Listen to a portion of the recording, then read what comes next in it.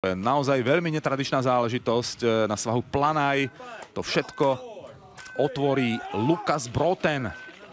22-ročný norský reprezentant včera skončil na pódiu, v slalome bol tretí a vedie celkové hodnotenie najtočivejšej disciplíny. V boji o malý kryštálový globus má veľmi dobrú východiskovú pozíciu v slalome aj v obrovskom slalome je v hre o malý globus, aj keď e, je momentálne na piatom mieste, tak stále je tam určite ešte teoretická šanca. Najmä pri dnešnej absencii Marka Odermata sa to predsa len trošku zamotáva, pretože Odermat e, ten je e, momentálne v tejto disciplíne úplne niekde inde ako zvyšok sveta. Predstavuje, dá sa povedať, inú dimenziu, iný level v tejto disciplíne. Lukas Broten mal veľmi ťažký pád e, pred dvomi rokmi v Adelbodene. Vážne si zranil koleno, po dlhej rehabilitácii sa vrátil do súťažného kolotoča. Bol to veľmi rýchly comeback, na rozdiel od niektorých iných pretekárov. On sa po zranení veľmi rýchlo dostal na pôvodnú úroveň. Dnešné prvé kolo zvláda na veľmi slušnej úrovni. Zatiaľ tam nebola žiadna zásadnejšia chyba. Uvidíme, do akej miery využil e, výhodné štartové číslo 1. Stanovil e, základný čas 1 minúta 11,17 sekundy. To zranenie kolena si privodil v Adelbodene. A momentálne už je, dá sa povedať, e, dlhšiu dobu plnohodnotne späť.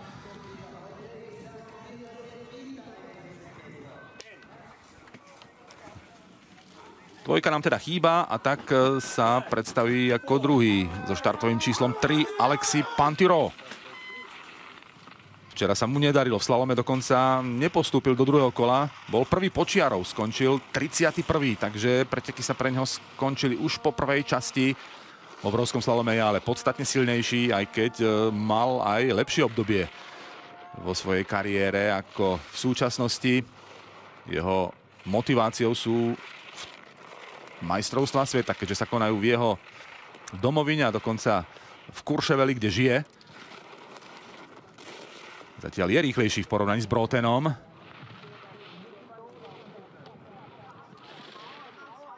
Ale je to veľmi tesný súboj o priebežnú prvú pozíciu. Pantiro versus Broten.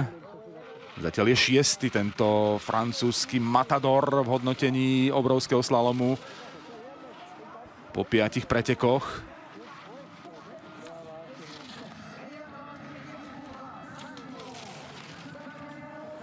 Má malý globus za túto disciplínu z roku 2021. To veľmi podobný výkon, akým sa prezentoval pred chvíľou Lukas Broten. O 43 stotín sekundy je Pantiro lepší a je teda na čele.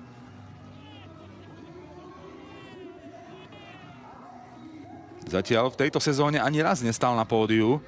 Začal 20. miestom v Soldene, 9. bol vo Valdizer, 4. v Altabádi, v prvom z dvoch obrákov, v tom druhom na Grand Rize bol 6. a v Adelbodene opäť 6. miesto. Takže určite by mu pomohlo pred majstrovstvami sveta, ak by sa aspoň raz dostal na stupeň výťazov. Zvýšilo by to sebavedomie pred eh, vrcholom sezóny. Henrik Kristoffersen so štartovým číslom 4, zatiaľ druhé miesto v hodnotení obrovského slalomu po piatich pretekoch. Včera veľký smoliar spravil chybu v druhom kole, to prvé vyhral a bol blízko k historickému zápisu, pretože Šladmingu mohol byť prvým, kto by slalom vyhral 5 krát. To sa ale nestalo. Po pokazenom druhom kole klesol z prvého až na 11. miesto. Dnes by si to chcel určite vynahradiť v obráku, ktorý je takisto jeho parádnou disciplínou. Získal v tejto disciplíne titul majstra sveta v Óre 2019. Zatiaľ je o 800 sekundy rýchlejší ako Alexi Pantiro.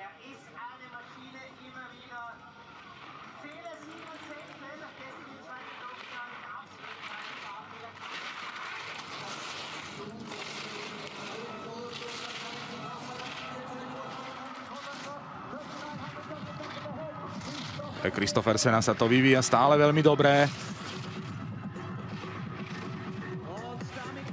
Plynulá rytmická jazda od začiatku s dobrou stopou a výrazný viac ako polsekundový náskok pre Henrika Kristofersena. Na čele máme teda opäť veľmi rýchlo zmenu. Pantiro a strieda celku podľa očakávania Henrik Kristofersen. Na rozdiel od Francúza, Christophersen v tejto sezóne bol už 4 krát na stupni víťazov, tretí v Soldene a trikrát druhý v posledných troch obrákoch. Valtabády dvakrát a raz v Adelbodene. Iba vo Valdizer sa nedostal na stupeň víťazov. Tam bol piaty. Veľmi vyrovnaná sezóna. Iba Marko Odermatt má viac pódiových umiestnení. Ten bol v každom obrovskom slalome tejto sezóny na stupni víťazov a Odermatt ťahá šnúru už 13 obrákov za sebou, ktorých bol na pódiu. Od Seldenu 2021 Odermatt ani raz nechýpal na stupni víťazov, ale dnes chýba teda na štarte tento velikán súčasného alpského lyžovania Žan Kraniec s číslom 5 má skvelú sezónu a chcel by to potvrdiť aj tu v Šládmingu. Silovo úžasne vybavený pretekár skvele dokáže pracovať najmä na rovine. Tam získava najviac. Súvisí to s tými výbornými fyzickými parametrami a výbornou fyzickou pripravenosťou. On je známy tým, že v tréningovom procese dáva do toho maximum.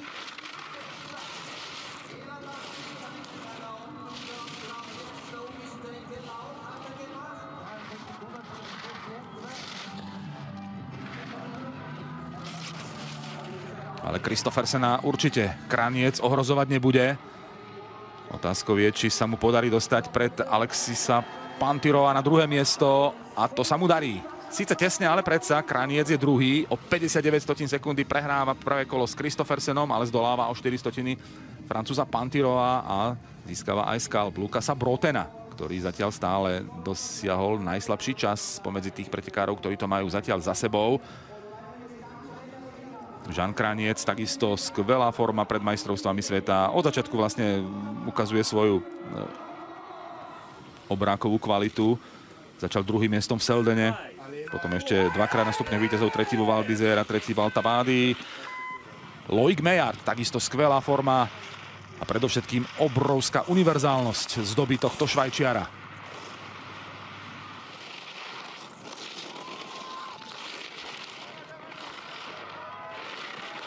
A vidíte ten skvelý začiatok Mejarda. Fantastický úvodný sektor. Doslova rozdovil konkurenciu.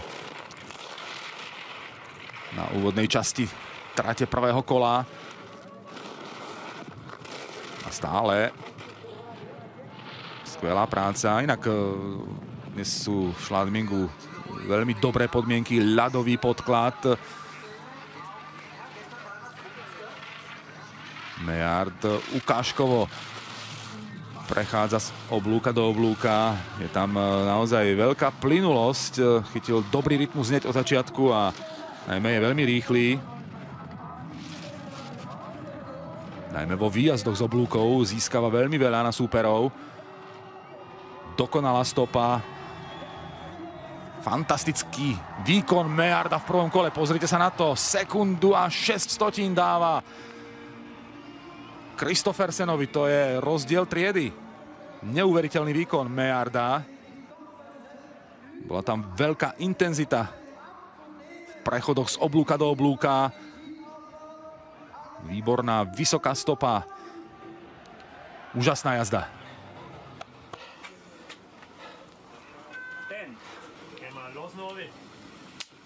Štartové číslo 7.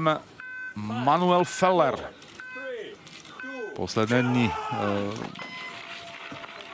dá sa povedať, eh, dosť frustrovaný pretekár, pretože v Kitzbüheli vyhral prvé kolo v slalome, ale druhé nedokončil. Včera takisto útočil z druhej pozície po prvom kole, ale opäť sa na stupeň víťazov nedostal. Sice to bolo lepšie ako v Kitzbüheli, skončil štvrtý, ale to je to nepopulárne miesto, ktoré určite Fellera nepotešilo, aj keď body získal kvalitné. Keller ešte nikdy nevyhral obrovský slalom e, vo svetovom pohári. Má na konte v úvodzovkách iba dve víťazstva na to, akým vynikajúcim e, technikom je a akým dlhodobo e, výborným protagonistom technických disciplín Feller je, tak dve víťazstva, ktoré zatiaľ vo svetovom pohári získal, to naozaj je na jeho pomery málo. Tie dve víťazstva sú zo slalomu. V obráku na prvý triumf stále čaká. Teraz útočí na priebežnú druhú pozíciu Henrika Kristofersena. No, toto nebolo dobré. Feller e, sa dostal hlboko pod bránu a to sa prejavilo v záverečnej časti trate, preto je až tretí. Ale zdoláva Kranieca, ktorý klesá na štvrté miesto. Aj Alexi Pantiro, aj Lukas Broten sú pomalší ako Manuel Feller, ale jedna chyba z kategórie zásadných tam bola. Feller je pretekárom, ktorý často pri riziku, za kým jazdí, robí aj chyby. To s tým samozrejme súvisí, to sú spojené nádoby. Teraz opäť tam prišla pomerne veľká chyba v záverečnej časti trate. Číslo 8 je pripravené, to je Talian Luca de Aliprandini. Uradujúci vicemajster sveta v tejto disciplíne. V Kortine Dampeco bral v obrovskom slalome striebro, keď ho zdolal iba Mathieu Fevre. Ale sezónu má de Aliprandini veľmi zlú zatiaľ.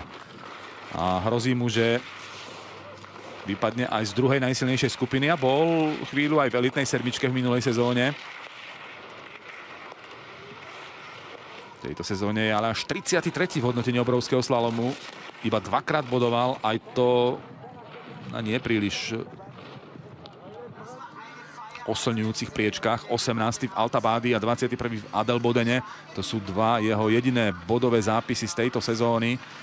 Pred majstrovstvami sveta to nevešti nič dobré v súvislosti s obhajobou striebornej pozície v Kurševeli. A ani dnes to nie je žiadna sláva.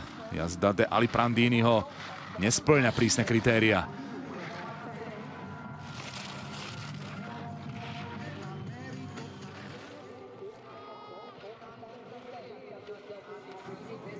Bude veľká strata. De Aliprandini zrejme ani nepostúpi do druhého kola, alebo bude to len e, s veľmi odretými ušami, ak sa mu to podarí. Sám neverí tej strate, ktorú nabral. 4 sekundy na Lojka Mejarda, aj keď treba povedať, že to, čo predviedol Švajčiar v prvom kole, tak to bolo absolútne fenomenálne. Preto aj tie 4 sekundy ešte nemusia byť úplne beznádejné v súvislosti s možnosťou postúpiť do druhého kola. Štefan Brensteiner je pripravený s číslom 9. Naposledy sa dostal na stupeň víťazov, mohli ste si to prečítať e, v Soldne v roku 2021 v tradičnej ľadovcovej uvertúre, ktorá otvára každý ročník Svetového pohára. Odvtedy sa ale na ďalšie pódium Brensteiner nedostal.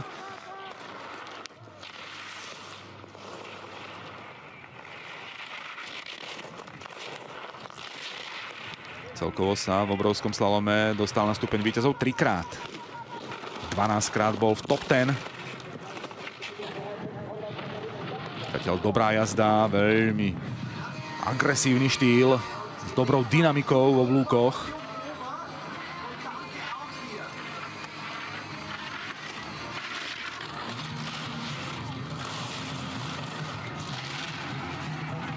Stále je Brensteiner v hre o priebežné druhé miesto za nedostihnutelným Lojkom Mejardom. Ale toto bola zásadná chyba. Toto znamená pre Brensteinera problém a značnú časovú stratu pred cieľom. Preto je až šiestý.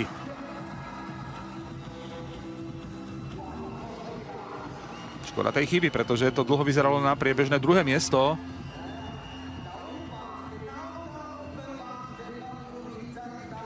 Napokon strata takmer dvoch sekúnd.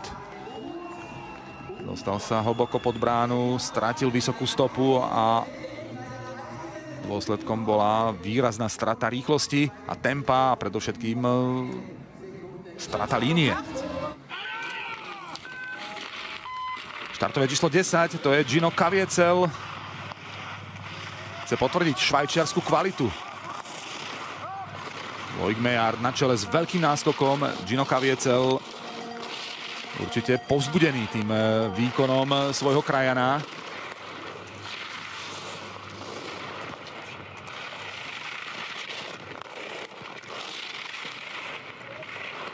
Má na konte tento pretekár už aj jeden pódiový výsledok. Na stupeň víťazov sa Gino Kaviecel dostal v roku 2020 v Soldne. Celkovo dvakrát stal stupňo, na stupni víťazov v pretekoch Svetového pohára. To druhé pódium získal Gino Kaviecel v superobrovskom slalome. Na konci minulej sezóny vo finále Svetového pohára v Maribel. bol v Super G tretí. To je práve ten príklad pretekára, ktorý sa od obrovského slalomu posúva smerom k rýchlostným disciplínám. Slalom vôbec nejazdí. Kaviecel je druhý, vynikajúca jazda. Skvelé prvé kolo, 64 stotín iba stratil na Lojka Mejarda. Aj keď tam mal jeden sektor, dokonca vôbec najlepší, konkrétne sektor číslo 2. V ňom bol o 25 stotín sekundy dokonca lepší ako Loik Mejard. Celkovo to bol ale veľmi konzistentný, vyvážený výkon. A preto je druhý. Švajčiarská dominancia zatiaľ aj pri absencii tohto muža, Marka Odermata. Alexander Schmidt. Ten titulok nebol správny. Alexander Schmidt už jedno pódium v obrovskom salome vybojoval. Bolo to v Altabádi v roku 2021.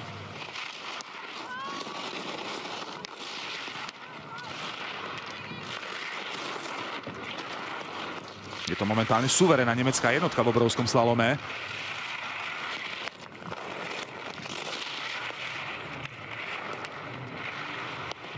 Mal veľkú smolu na olympijských hrách v Pekingu, keď bol po prvom kole druhý, ale druhé nedokončil.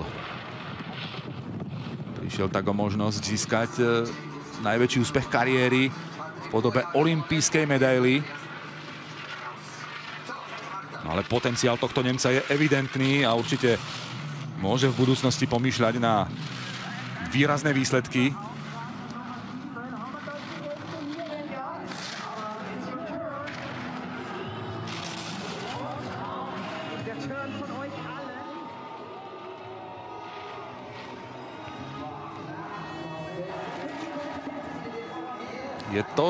7. pozícia pre Alexandra Šmida. Lepšie mu vyšla horná časť strate ako tá spodná. Tam e, stratil pomerne veľa.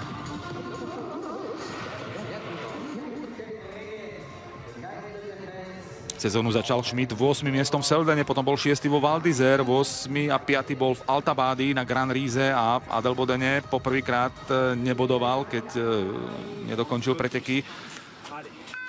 Celkovo je Schmidt v hodnotení obrovského slalomu zatiaľ 9. Justin Murisie, ten na tom ani zďaleka nie je tak dobré. Patrí mu až 26. miesto v hodnotení tejto disciplíny po piatých pretekoch, keď iba raz dokázal bodovať v Altabádi na 9. mieste. Práve v Altabádi e, dosiahol svoj zatiaľ najväčší výsledok v kariére v podobe tretieho miesta. Bolo to v roku 2021.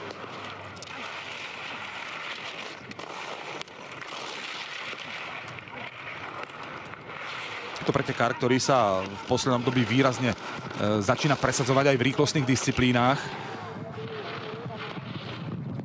A s pribúdajúcim vekom možno sa úplne preorientuje na zjazd na superobrovský slalom.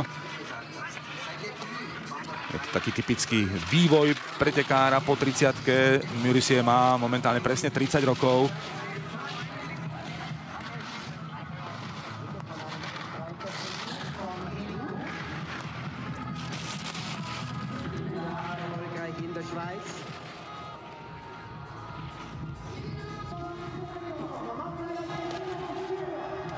To jeden z tých slabších výkonov.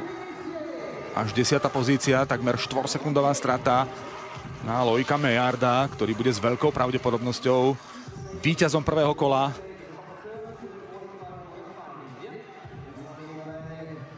Je to už pravdepodobnosť e, skoro 100%, že Mejarda nikto neprekoná, pretože to, čo v prvom kole predviedol, to je skrátka niečo výnimočné. Filip Zubčič štartuje číslo 13. 29-ročný chorvátsky reprezentant, ktorý má za sebou zatiaľ nepríliš vydarnú sezónu a má za sebou aj veľmi zlý začiatok prvého kola. Spojený so značnou časovou stratou. Redukcia tempa evidentná po tej obrovskej chybe.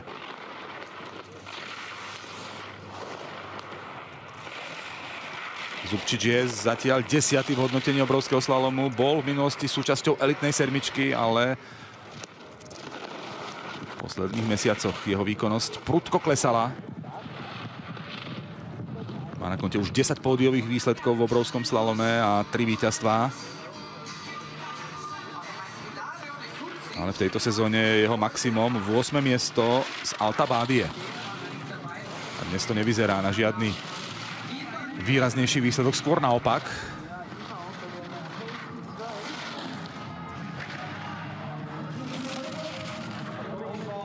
Momentálne Zubčiča trénuje ruský tréner Sergej Komarov.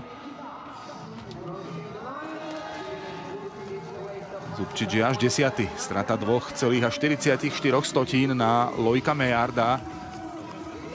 Dvaja pretekári sa dostali v prvom kole pod 1 e, minútu a 10 sekúnd, okrem Mejarda ešte je okrajan Gino Kaviecel, ktorý je druhý so stratou 64 stotín, tretí Henrik Kristoffersen stráca sekundu a 6 stotín.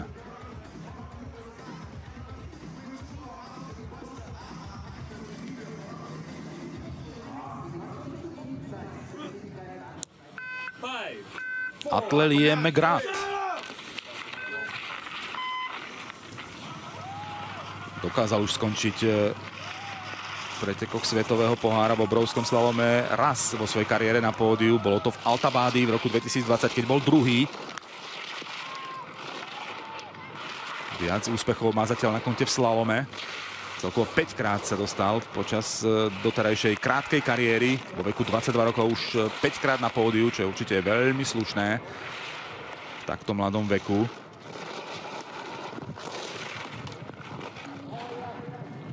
Dobre. Zvláda aj prvé kolo v e, Šladmingu. Zatiaľ najlepší norský výsledok e, drží Henrik Kristoffersen v podobe priebežnej tretej priečky. Zdá sa, že McGrath e, to nezmení.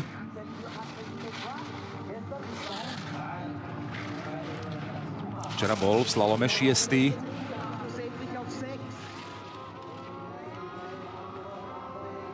Hodnotenie obrovského slalomu mu zatiaľ patrí po piatich pretekoch 11. miesto. Teraz je 8. Strata tesne pod hranicou dvoch sekúnd. Nebude to zlá východisková pozícia pred druhým kolom pre McGrata.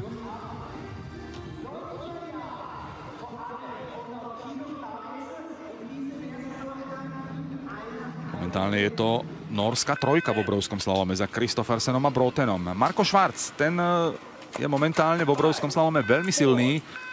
Keď získal v roku 2021 v Kortne Dampeco na majstrovstvách sveta bronzovú medailu, bolo to považované ako veľké prekvapenie, ale v poslednom období išla výkonnosť Marka Švarca rapidne nahor práve v tejto disciplíne.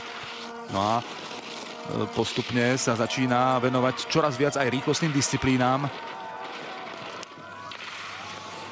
Na druhej strane ale zaznamenal výrazný pokles e, vo svojej dlhodobo najsilnejšej disciplíne, keďže v minulosti sa špecializoval najmä na slalom. Teraz to už neplatí. Švarc e, má momentálne v obrovskom slalome lepšie výsledky ako v slalome. Napriek tomu, že za slalom má aj malý globus z roku 2021 za celkové víťazstvo v najtočivejšej disciplíne vo Svetovom pohári.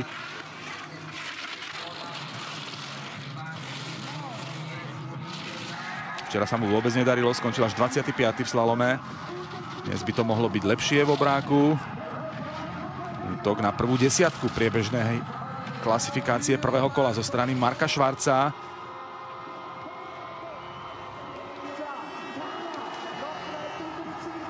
Je to napokon tesne za ňou, 11. pozícia. 2 sekundy a 38 stotín stratil Marko Švarc na už skoro istého víťaza prvého kola, Lojka Mejarda.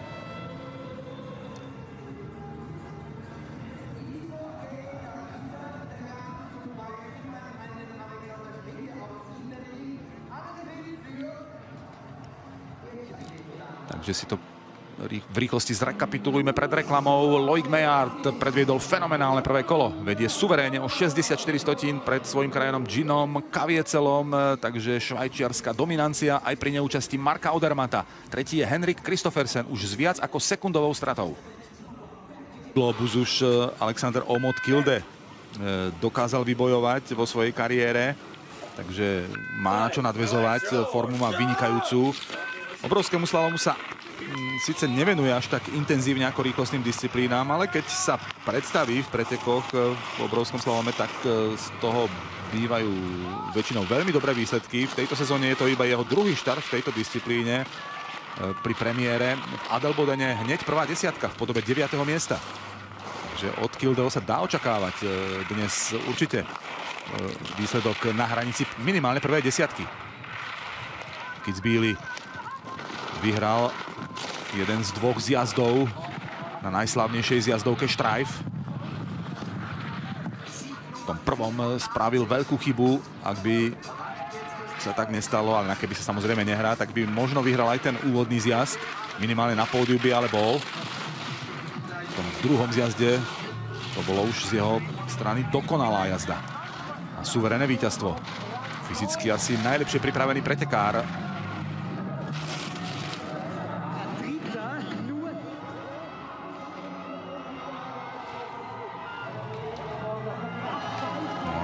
Veľmi dobrý výkon v prvom kole v podobe 8. miesta, čo len dokresluje tú jeho univerzálnosť a schopnosť e, bojovať o veľký kryštálový globus, napriek tomu, že je e, špecialistom na rýchlostné disciplíny, tak si dokáže pomôcť e, určitými zaujímavými bodmi aj v tejto disciplíne. Uvidíme, či to bude opäť prvá desiatka, podobne ako v Adelbodene. Zatiaľ 8. priečka v priebežnom poradí prvého kola pre Kildeho, čo je vynikajúci výsledok. Američan River Redemus, 24-ročný veľký talent, juniorský majster sveta z roku 2019 z talianského strediska Valdi Fasa.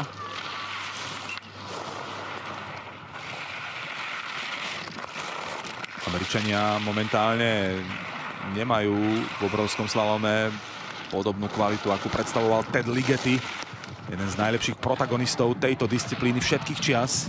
Ligeti má na konte 5 malých globusov za celkové víťazstvo v obrovskom slalome vo svetovom pohári a je v tomto smere historicky tretí najúspešnejší. Iba Stenmark s 8 malými globusmi a Hirscher so 6 sú na tom lepší ako Ligeti, ktorý zatiaľ nemá e, plnohodnotného nástupcu, ale práve o Radamusovi sa hovorilo ako o možnom pokračovateľovi amerických úspechov v tejto disciplíne. Zatiaľ mu ale stále čo si chýba k tomu, aby sa dostal na úroveň svojho slávnejšieho krajana, aj keď má ešte dostatok času vo veku 24 rokov sa zlepšovať. Dnes zatiaľ 11. pozícia v priebežnej klasifikácii prvého kola, čo nie je zlé. V tejto sezóne mu patrí 19. miesto so ziskom 55 bodov. Začal sezónu 26. miestom v Seldene, 16. bol vo Val d'Isère Altabády 10. a v Adelbodene 22. Bol štvrtý v Jenčchingu na olympijských hrách.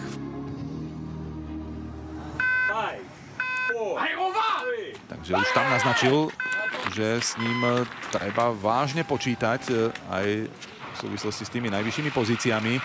Štvrté miesto na olympijských hrách vo veku 23 rokov, to je úžasný výsledok.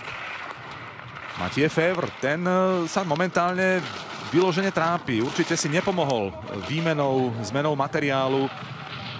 To je vždy veľký problém. Prechádzal od Salomonu, eh, od Hedu k Salomonu a ukazuje sa, že to vôbec nebola šťastná voľba.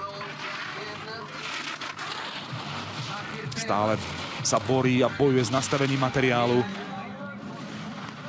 Je to uradujúci majster sveta z Cortiny Dampezzo mal fantastické výsledky na poslednom svetovom šampionáte. Nielen, že získal zlato v obrovskom slalome, ale e, dokázal vyhrať aj e, paralelný obrovský slalom. Takže bol vôbec najúspešnejším účastníkom posledného svetového šampionátu. Teraz 15. pozícia a opäť veľký odstup. Stále trápiaci sa Mathieu Fevre, ktorý bol na olympijských hrách v Pekingu v tejto disciplíne bronzový, takže má medailu z posledných dvoch veľkých akcií. Ako jediný dokázal získať e, medailu aj na poslednom svetovom šampionáte, aj na olympijských hrách. Majster sveta a bronzový z olympiády. Matie Fever. Rasmus Vindikštad. Bude chcieť potvrdiť e, súčasnú veľkú silu norského obrákového týmu je norskou štvorkou za Kristoffersenom, Brotenom a Megratom podľa získaných bodov v tejto sezóne. Má na konte už v tejto disciplíne aj jeden pódiový výsledok v Kraňskej gore. V roku 2019 bol druhý. No a dokázal vyhrať paralelný obrovský slalom Altabády v roku 2019. To je jeho jediné víťazstvo vo Svetovom pohári. Možno si ho pamätajú aj slovenskí fanúšikovia alpského lyžovania, pretože v roku 2014 bol na juniorskom svetovom šampionáte v Jasnej pod Chopkom v tejto disciplíne na pódiu. Skončil tretí v obrovskom slalome.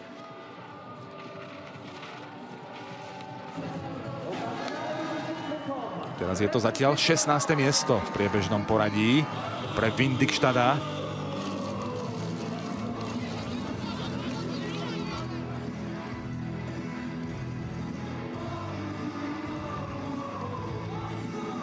Zaujímavosťou je, keď som spomínal tú bronzovú medailu z juniorských majstrovstiev sveta v Jasnej, tak e, vtedy obrovský slalom e, patril naozaj Nórom doslova do písmena, keďže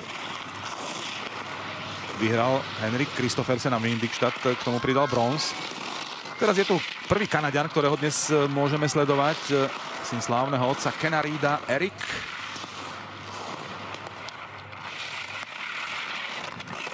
Veľmi spolahlivý pretekár, ktorý síce nemá výsledky na hranici tých e, najlepších, ale boduje pravidelne. Veľmi konzistentný a stabilný pretekár.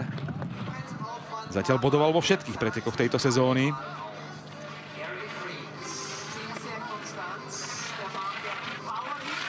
Ale do prvej desiatky sa nedostal ani raz. Jeho najlepší výsledok je 15. miesto. Vo Valdizer bol 15. a rovnako 15. bol v Adelbodene.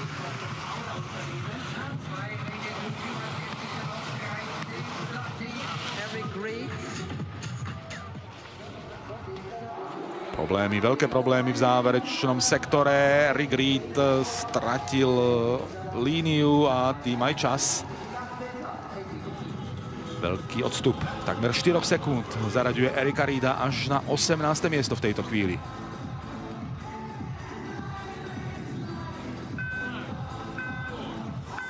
Štartové číslo